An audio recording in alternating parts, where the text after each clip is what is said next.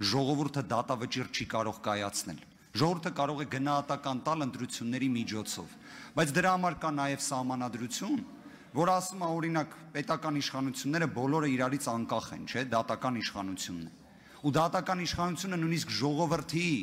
ձեր ասած դատավճռի պայմաններում է, կարա լրիվ այլ վճիռ կայացնի։ Հիմա նույն ձեր տրամաբանությամբ ստացվում է ճիշտ եմ ըմբռնում, որ օրինակ միջազգային հանցագործություններ գործած Հիտլերը, եթե վեր ընտրվեր, ինքը ոչ մի բանի համար չպետքա դատվեր։ Սենց տրամաբանություն իրավաբանությունում չկա։ Ու մեկը մի բան եմ ուզում ասել, նաև առիթից օգտվելով այդ հարցնել էի ուզում բարձրաձայնել։ Դուք մի քանի անգամ ընդգծեցիք գախնի, ոչ գախնի հանգամանք։ Ես կարծում եմ դրա վերաբերյալ եք տեղյակ, որ քրեական գործ կա հարուցված այդ ուղիղ օպերատիվ կապ Հայաստանի կոնկրետ ձեր եւ Թշնամի Ալիևի միջև, որի շրջանակներում նաև դե տեղյակ եք երևի 5 միլիարդից էին խոսում եւ այլն, դրա մասին էլ ասեք, էլի այդ միլիարդների մասին ձեր վստահորդի հետ կարծում եմ շատ ճիշտ կանեք, որ խոսեք։ Երկրորդը, որ այդ ժողովուրդը չի կարող, չի կարող, լավ 4 մինուս 1 Այնտեղ էլ մարդ կա թող այդ 5 միլիարդի գործով, որ հղում էին անում։ Լրություն։ Մի րոպե, մի րոպե, թողեք բանեմ աս, հանգիստ հլո։ Հա, ես եմ ասում։ Ես եմ ասում, մի րոպե, մի րոպե։ Մի րոպե։ Մի վարքան։ Լրություն։ Մի րոպե։ Այն դե մարդ կա, որ թողա 5 միլիարդի հետ կապված ասի, բացատրի, ցուցմունք տա, վկայություն տա։ Երկրորդը, բա որ այդ ժողովուրդը չի կարա որոշում կայացնի։ Բա այդ ինչի է 300 հոգով գնդակահարության որոշումներ կայացնում, կախաղաններ հանելու որոշումներ կայացնում, բեմադրում։ Բա դուք կարաք 3 հոգով որոշում կայացնեք Ժողովուրդը չի կարա 800.000 հոգով որոշում կայացնի, ժողովուրդը կարող է դատավճիռ կայացնի եւ կիրագործի այդ դատավճիռը։ Ուրեմն, ուրեմն այդ ձեր գնդակահարության տեսարանները երբ որ բեմադրում Լրություն դալիճում, լրություն, ժողովուրդը կարա որոշում կայացնի, չէ՞ կայացնի։ Ու ասում եմ միլիարդների մասին գնա վստահորդիդ հետ խոսա։ Տիկին Գյուրեգյան, անդրադառնանք վստահորդիդ միլիարդների։ Տիկին Գյուրեգյան, Ես ձեզ այսօր ամբողջ օրը խնդրել եմ, որ դուք տեղից չխոսեք։ Ես ձեզ նախազգուշացնում եմ, եթե ես ձեզ կանոնակարգ սահմանադրական օրենքի հիման վրա Տիկին Գյուրեղյան, Տիկին Գյուրեղյան հանգստացեք մի հատ եւ նախազգուշացում եմ հայտարարում ձեզ այսօր ամբողջ օրը տեղից բղավելու համար եւ խնդրում եմ չշարունակել լրություն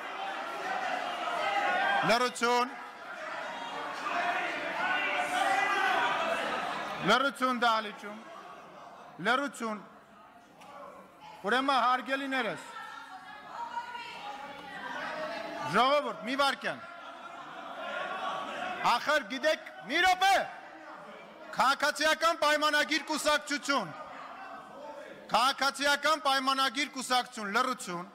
Հայաստան դաշինքի հարգելի ընկերներ, նախ եւ առաջ տեղից բղավելը անընդունելի է։ Երկրորդը, երբ որ դուք մատնացույց եք անում այն բանից հետո, երբ որ աղմուկ է դահլիճում, որ մեր գործընկերներից որոշ որոշ падգամավորներ նույնպես բղավում են, ես ուղակի դա չեմ լսում, որտեվ դահլիճում աղմուկ է։ Դրա համար տեղից մի բղավեք։ Տիկին Գյուրեգան, ներողություն եմ խնդրում, կրկին ձեզ դիմելու համար, խնդրում եմ մի տեղից արձագանքեք։ Ուղղակի խնդրում եմ ձեզ։ Իսկ հիմա մենք կշարունակենք։ Շնորհակալություն։ Գիտեք, այստեղ շատ խոսվեց նոյեմբերի 9-ի եւ նոյեմբերի 9-ից հետո տեղի ունեցող գործողությունների մասին, մասնավորապես Բաղրամյան պողոտայում տեղի ունեցող գործողությունների մասին։ Եթե չեմ սխալվում, մեր գործընկերներից պարոն Մամիջանյանն էր, որ ասեց տարբեր իրադարձությունների կիզակետում եղող մարդկանց մեջ եղել են քաղաքական գործիչներ։ Իհարկե, ես վստահ եմ, որ եղել են քաղաքական գործիչներ, ես վստահ եմ, որ այնտեղ եղել են մարդիկ, ովքեր որ չեն ուզեցել, որ իրադարձությունները այդ հունով ընթանան, բայց մենք ունենք արձանագրված փաստ, մենք ունենք հանցագործ բանդա, խունտա, որոնք կատարել են ազգային ժողովի նախագահի սպանության փորձ։ երբ այդ օրերին դուք անցնեիք այստեղի աշխատասենյակների կողքով կտեսնեիք թե ինչպիսի արմագեդոններ այնտեղ տեղի ունեցել եւ ընդհանրապես ինչ էր կատարվում եւ ինչ բարքերի տեր մարդիկ սենյակների հետ ոնց էին վարվել եւ իրենց նպատակը ինչ էր եղել եւ ընդհանրապես Բաղրամյան պողոտայում տեղի ունեցող իրադարձությունների մասին խոսելուց մենք պետք է հիշենք հստակ, որ այնտեղ մի հատ քաղաքական դիակ կար, որը վերակենթանացել էր եւ ասում էր, որ պետք է գնանք եւ падգամավորներին փչացնենք,